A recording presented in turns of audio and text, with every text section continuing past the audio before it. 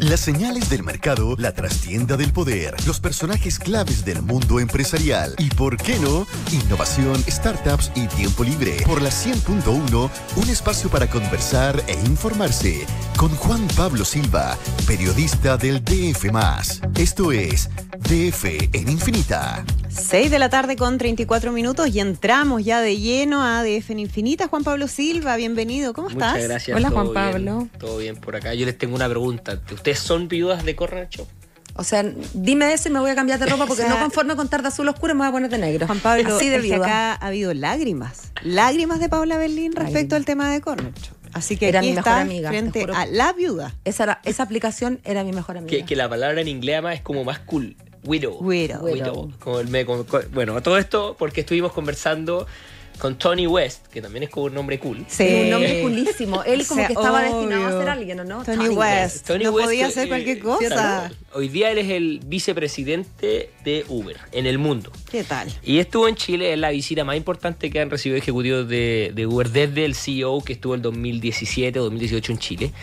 Eh, y él tiene, es chistoso porque esto, estas cosas todavía no se dan en Chile, pero en Estados Unidos se da mucho. Él fue, primero, eh, bueno, estudió Derecho en la Universidad de Stanford. No, ni más ni menos. Eh, claro. Eh, después estuvo trabajando. Él es político, es del Partido Demócrata. Está casado con la hermana de Kamala Harris. Supimos, tiene una cuñadita Tiene A la que- algo de contacto político. Claro, ¿ah? tiene un par de, Un de par redes de- por ahí sí. en Washington. Algo. Que es muy chistoso porque yo le pregunté qué, qué significa estar casado. Que me dijo, mira, yo me casé con ella y tenía una hermana. Obvio. Era solo una hermana. Era una hermana como Y cualquiera. la verdad tenía toda la razón. Y mira. Pero bueno, él estuvo en Chile y estaba muy al tanto de todo lo que está pasando eh, en Uber.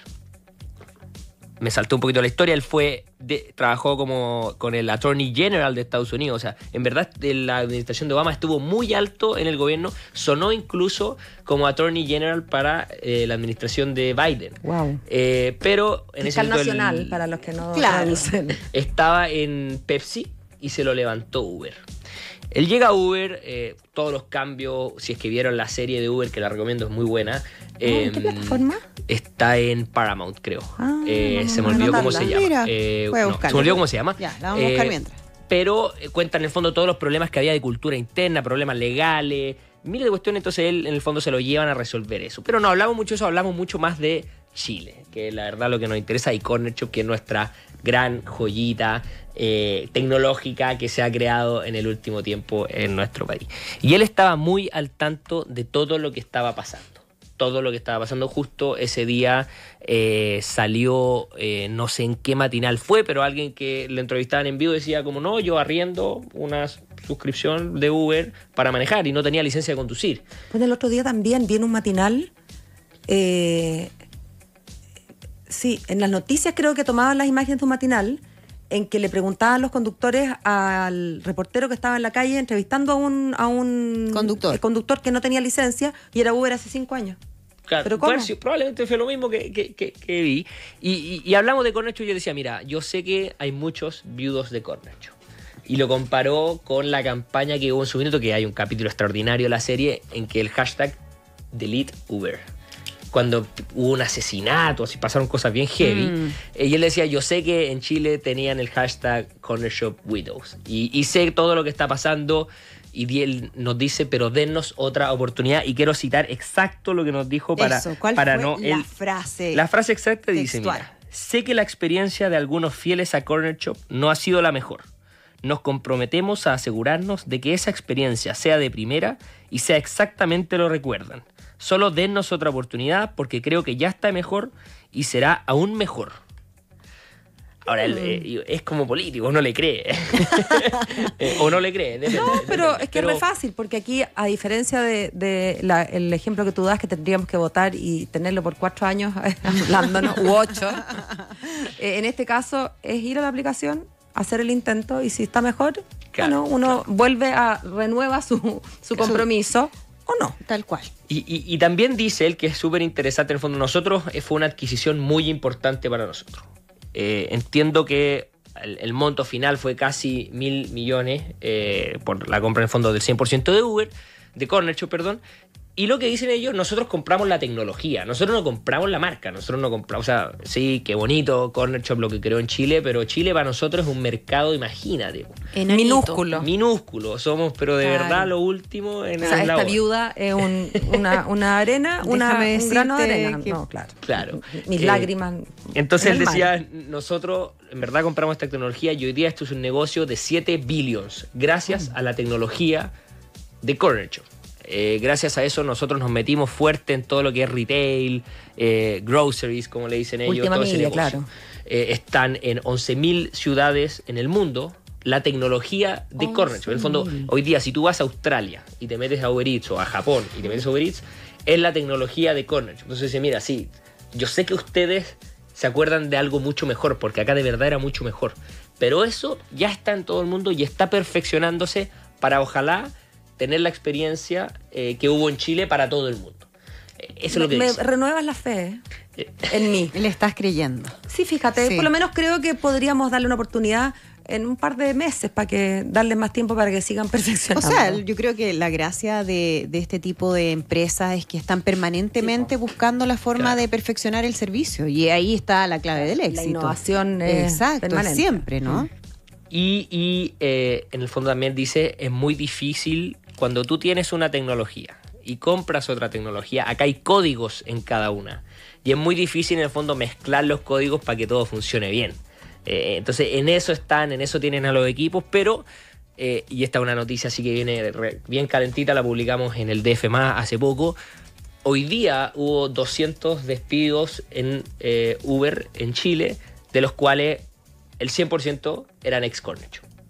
Entonces, claramente están adquiriendo la tecnología, quizás partes de los equipos, pero la verdad, la verdad es que esto ya lo metieron en la interna de Uber mundial y, y- y creo que hay que olvidarse de Corner Shop lo que fue, que fue un gran recuerdo. Están saliendo varias startups al alero de Corner Shop. Eso, y ahí ¿Cómo- viene, cómo un, así? viene un reportaje bien entretenido el domingo, lo van a poder leer Ah, en el ya, ya, pero, Pero- pero me encanta, lo veo en papel. son las mafias tech. Hay un término que se llama, que lo, en el fondo se acuñó con la mafia PayPal. PayPal que fundó Elon. Musk, está el gallo de LinkedIn eh, y varios otros que hoy día no lo tengo en la cabeza. Y todos en el fondo salen de PayPal y todos se van a crear distintas startups que hoy día son gigantes. Entonces siempre se dice, una vez que empiezan esas mafias, partió este juego, partió el juego de verdad. Y de Corner Shop, eh, hoy día creo que hay cinco o seis que son ex empleados de Corner Shop que ya están Ah. creando distintas startups, quizás no relacionadas a esto. Claro, podrían ser de, Claro. de otras cosas, pero, pero mira qué, qué interesante como fenómeno. Tal cual. Entonces, eso lo, eso lo podrán leer eh, el domingo y bueno, y estamos todos expectantes a saber qué van a hacer los Corner Shop ahora. Ojalá que no se echen para atrás a gastarse los millones. Ojalá que creen algo nuevo. Yo creo que sí, siempre. Sí, sí, Yo creo que no se van a quedar quietos. No, la- esa gente no que- se queda quieta. No es como que uno que, hace- imagínate, que uno se de vacaciones de vacaciones a permanencia. Que- Con claro. palmeras a Siempre. permanencia. Pero, Pero lógico. Pero- No, esta gente pero tiene esta gente ese gen de la inquietud. Sí, porque Ah. uno no, no nació así. Bueno, y hablamos de política también, con Tony West, que tiene un nombre, ¿cómo no voy? Yo encuentro, bueno, no Es que sé, Tony West podría West, ser actor. Tony West. No, Po- es podría ser actor, actor, podría escritor. ser político, podría ser un escritor famoso. Obvio. Por eso escrito, tiene nombre escritor. Y llegó además con una pinta, traje a la medida, corbata, así Increíble. perfecto. No, yo lo Yo vi estaba así, pero vestido- Ahí es guapo encima. pintaza. Así como uno, entonces también le, le dije en tallo, oye, perdón la pinta, me dijo, no, yo, yo soy el que está overdressed. Ah, imagínate más encima. y hubo Ah, también conversaciones políticas. Ah, pero es una Donis. No, es, es- es- es un compadre muy político. ¿Y es alto? Es tipo Es muy Obama, alto. es Es- tipo Obama, ¿o ¿Qué no? hacemos? Mira, yo creo que es lo más cercano que he estado en mi vida de Obama. Me imagino que Obama es como tiene el mismo como sí, pues como, como encanto, como la presencia. presencia. Claro, claro. Y se notaba además que era alguien súper talentoso. O sea, tiene una carrera profesional No, totalmente. extraordinaria. La señora, él, eh, un dato curioso que me lo dijo de entrada, sin preguntarlo, y aquí también se nota cómo se maneja, cómo es político, ¿Eh? dijo, mira, mi obra de arte favorita de mi casa, que la tenemos en, en- en San Francisco, Nueva York, no me acuerdo dónde vivía, es de un artista chileno y que es un monumento a los detenidos en el Estadio Nacional. Mira. Eh, y eso es porque su señora, hermana de Kamala, Sí. Maya Harris, eh, a quien conoció en la Universidad de Stanford, era la vicepresidenta de la Fundación Ford. Entonces le tocó venir muchas veces a Chile. Ah, entonces tiene, Tiene un ya. contacto. eh, Él nunca había venido, me dijo, es mi primera vez pero, en Chile. pero conoce la de hermana Chile, chica. la La historia. La Tal se nota cual. que es menor. Se Ah, nota en la foto. malla. La malla. La Maya, claro. Para los amigos, Maya. La los- Maya. La malla, sí, pues se nota que es hermana menor. Así que, así con, con Tony Oye, West, pero qué que, interesante la conversa. Maya Ford. que además contaba Que no es lo mismo que Amaya Ford. por No, si porque es acaso. Amaya Harris. Es Maya Harris. Claro, la Fundación Ford. Maya de la Fundación Ford. Pero él contaba que muchas tecnologías se están creando en Chile y exportándose. O sea, no solo eh, en el fondo lo que se usa eventualmente Corner Shop, ¿Mm? sino que decía que en Estados Unidos ya se está piloteando una tecnología que es para verificar la identidad de los conductores. Ya. Y que eso se creó en Chile. Ah, mira. Cuando el equipo interno chileno creó esto, lo probó en el mercado. En Chile están casi todas las patitas de Uber, porque están los scooters, Mm. está la bicicleta, está, bueno, Los eh, autos, los autos, está eh, Corner Shop. Claro. Eh, están metiéndose hoy día Uber en, en algunos países en transporte público. O sea que tú puedes comprar el ticket del tren. Eh, en Europa creo que lo estaban piloteando. A través de A través de. Uber, mira, va a salir un tren, pum, lo, lo veis mismo en Uber. Claro, para no tener esto de las, mu- Las múltiples multiplataformas, plataformas claro. que uno tiene Tal que.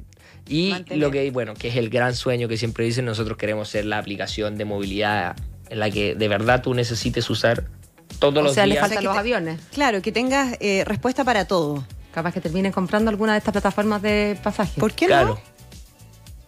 Quiero un pasaje. Ahí tengo una idea para ti, Tony. Mira, pídele una Habla conmigo, reunión. Tony. Pídele una reunión, Paola.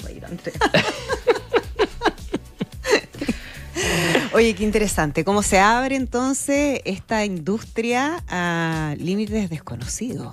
Vamos a ver cómo sigue, pero ya al menos la intención de ir corrigiendo y reconquistando a los usuarios y a los clientes está. Claro. Vamos a ver si los clientes y los usuarios lo. Yo estoy sentada para que lo me toman. reconquisten.